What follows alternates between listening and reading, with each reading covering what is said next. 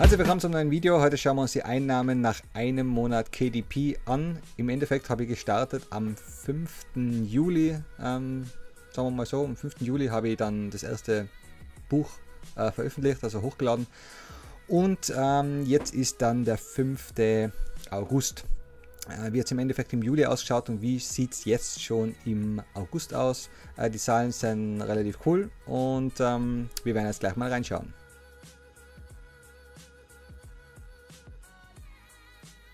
Willkommen nochmal zum neuen Video. Heute schauen wir uns die Einnahmen eben einen Monat KDP an. Im Endeffekt die letzten fünf Tage, also die letzten sechs Tage, war ich nicht äh, da. Also ich habe ähm, arbeitsmäßig war ich eher angebunden und habe äh, keine Bücher veröffentlichen können, was recht schade ist, weil ich habe ähm, relativ viele Ideen und äh, ich habe sie leider nicht umsetzen können die letzten fünf Tage.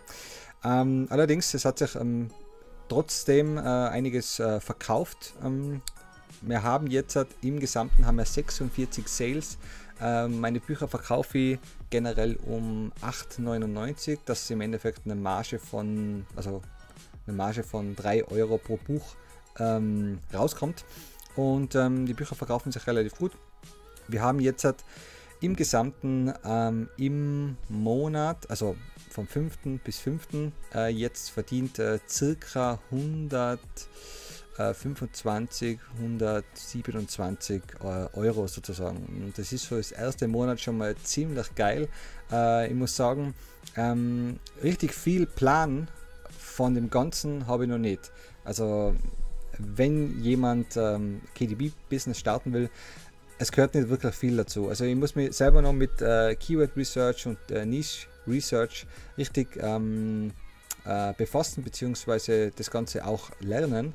Ähm, allerdings habe ich jetzt in den fünf Tagen, wo ich eben nichts machen habe können, sehr viele YouTube-Videos geschaut und mich ähm, dahingehend schon mal ein bisschen vorbereitet, dass ich jetzt halt, äh, in den nächsten Wochen richtig loslegen kann, äh, mit was für Strategie da eben äh, dann weitermache. Denn im Endeffekt habe ich jetzt, ich habe ähm, einige, sagen wir mal, Top-Seller, die die Hälfte von dem ganzen Umsatz gemacht haben und die anderen sind sozusagen die ganzen skalierten ähm, Notizbücher, ähm, Tagebücher, Skizzenbücher etc. Ne? Also sozusagen No-Content-Bücher, ähm, die machen die Hälfte aus.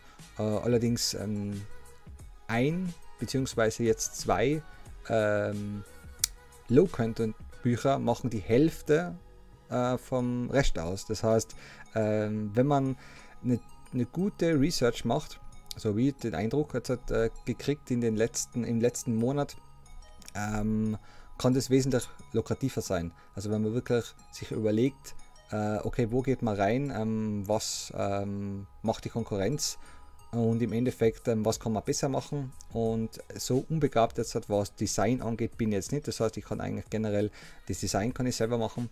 Ähm, wenn ich weiß, okay, wie schaut es ungefähr bei der Konkurrenz aus, ähm, sagen wir mal, ich bin jetzt kein, ich bin kein schlechter Nachmacher, allerdings ähm, schlechte eigene Ideen habe ich auch nicht, deswegen ähm, hat das Buch, was jetzt hat im Low-Content-Bereich äh, erstellt hat, auch ähm, recht gut performt. Teilweise hat es ähm, am Anfang ähm, vier Verkäufe pro Tag gehabt. Das war schon äh, ziemlich geil. Gut, ähm, auf alle Fälle, so schaut es jetzt einmal aus nach dem ersten Monat. KDP ist schon mal richtig cool. ich habe schon die letzten Monate bzw. im letzten Jahr habe ich äh, einiges ausprobiert, was äh, im Online-Geldverdienen angeht. Ähm, und es hat nichts auf Anhieb so gut funktioniert wie das Business. Das ist wirklich äh, ziemlich cool, auf alle Fälle. Ähm, Verkäufe schauen auch ziemlich gut aus. Wie gesagt, jetzt in den letzten zwei Tagen haben wir jeweils einen Verkauf gehabt. Ähm, und jetzt schauen wir mal rein, äh, wie es hier ausschaut. Earnings pro Tag, wir haben teilweise 13, ähm, 15 Euro 14 verdient an einem Tag, dann 12,28 Euro haben wir wieder mal nur mehr einverkauft, dann haben wir wieder 12 Euro, hier haben wir wieder 9 Euro, also so 10 bis 15 Euro pro Tag ist schon mal ziemlich cool. Ähm, und wenn man sich hier jetzt das Totendiagramm anschaut, dann äh, ist das hier, äh, diese Seite, das sind die Low-Content-Bücher. Das heißt, das ist der Topseller sozusagen, äh, der eigentlich alles outperformt. Ähm, und die, das hier ist das, äh, das zweite. und das zieht jetzt schon langsam nach, ist in der gleichen Nische. Ähm, und äh, da kann man noch ziemlich was sehen. Also wir werden es dann sehen, äh, eher langfristig. Das heißt, im nächsten Monat, in, in den nächsten zwei Monaten habe ich ja äh, naja, ein gewisses Ziel vor, was ich, was ich erreichen will, also mindestens vierstellig im Monat. Ähm, das werden wir dann sehen, ähm, ob das dann mit der neuen Research-Taktik ähm, gut funktioniert. Ähm, genau. Und ähm, ja, die Einnahmen kommen hauptsächlich eigentlich im DE-Markt, weil die, die Cover auch, ähm, also weil ich sie auf dem deutschen Markt veröffentliche. Und ähm, ja, 96,6% eben DE-Markt. Ähm, komischerweise im französischen Markt ist gestern eins gekauft worden, auch eben ähm, vom Low-Content-Bereich. Und ganz am Anfang hat die ich, ich denke mal eher ein Zufallssale beim Dotcom-Markt, weil es eben ein deutsches Cover war und trotzdem mh, mm, es im Dotcom-Markt verkauft wurde. Kann eher äh, Zufall sein, da man ja am Anfang äh, von KDP, wenn man ein Buch veröffentlicht, eher so einen, so einen kleinen Amazon-Boost hat für zwei Wochen. Äh, in den nächsten Wochen werden wir dann sehen, ähm, ob das ähm, eher Substanz hat, was ich da gemacht habe, ähm, oder ob das jetzt nur der Boost war werden wir dann sehen. Im Endeffekt äh, bei den Low-Content-Büchern gehe ich mal äh, davon aus, dass das passt. Ähm, mein, mein sozusagen Topseller hat jetzt einen Rang, einen äh, Bestseller-Rank von circa 30.000, äh, was so jetzt ähm, ganz schlecht sein dürfte in der Nische. Deswegen ähm, dürfte das schon passen. So, hier sieht man nochmal im Gesamten, wie gesagt, 27 äh, 127 Euro und 22 ähm, Cent.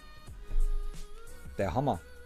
Wie gesagt, äh, ich bin absolut geflasht von dem, von dem Business und ähm, vor allem, da ich eben alles absolut selber machen kann. Also wie gesagt, ähm, mit Photoshop kann ich gut umgehen, mit Illustrator bin ich jetzt auch kein Idiot, wie gesagt, ähm, kann mich generell mit dem Computer über da ich eben die letzten Jahre mich sehr viel eben online beschäftigt habe mit Webseiten bauen und Funnel und Facebook-Werbung und Klumpert und Zeug.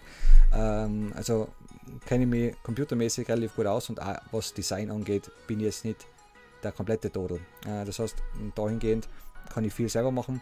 Äh, generell, ähm, die Planung schaut jetzt so aus, dass ich mit ähm, ja, mit dem Research ein bisschen tiefer in die Materie gehe, dass ich wirklich ähm, ganz genau weiß, was ich da mache, ähm, was ich, muss ich ehrlich zugeben, nicht ganz hundertprozentig äh, weiß, also gewusst habe jetzt halt am Anfang.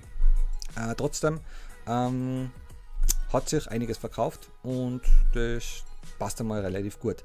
Wie gesagt, der Plan ist mehr im Research-Bereich ähm, mir anzueignen, ähm, viel auszutesten. Man hat ja bei KDP wirklich einen Vorteil, da man äh, nicht so wie bei Facebook Werbeanzeigen oder sowas, wenn man jetzt zum Beispiel einen Funnel aufsetzt oder sowas, hat man, muss man immer in Vorleistung gehen. Das heißt, man muss immer äh, zuerst einmal Geld reinfeuern, um äh, gewisse ähm, Zielgruppen zu testen oder sowas. Und da muss man immer ja, einiges an Kapital in Vorleistung gehen. Und beim KDP ist es eben nicht so, man muss äh, generell nichts in Vorleistung gehen, man, ähm, man, steckt einfach Arbeit rein und testet einfach unterschiedliche Keywords, ähm, unterschiedliche Nischen aus und ähm, wie gesagt, da kann sogar ähm, das blinde Huhn einmal ein Korn finden und ähm, man äh, generiert äh, Sales ne, sozusagen.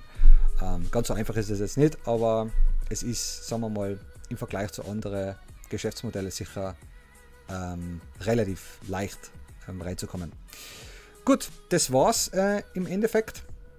Ähm, so schaut's aus. Im Moment, ich werde auf dem Laufenden halten, wie es ähm, weitergeht. Also ähm, sagen wir mal im Monatsabstand und zwischendrin, ähm, wenn mir dann ähm, Zeit bleibt, werde ich dann ähm, Tutorials machen zu gewissen Sachen, wie man ähm, Cover erstellt etc., wie man sich einen Account macht, auf was man aufpassen muss. Im Endeffekt die Learnings, die was ich daraus ziehe, die werde ich auch weitergeben, wenn ihr auch sowas anstrebt, eben online Geld zu verdienen oder eben auch äh, online ähm, komplett online zu arbeiten, was mein Ziel ist. Also dass ich wirklich das ähm, skalieren kann und dann mein Auskommen habe. Das war eigentlich das Ziel bis zum Ende des Jahres, äh, das zu erreichen und ich bin guten Mutes, dass das äh, gut funktioniert. Gut, schreibt mir gerne in die Kommentare, ähm, was ihr davon haltet, beziehungsweise ob ihr auch schon mal probiert habt, ähm, online irgendwie mh, hm, Fuß zu fassen. Und auch äh, Fragen gerne in die Kommentare, wer soweit es mir möglich ist, alles gerne beantworten.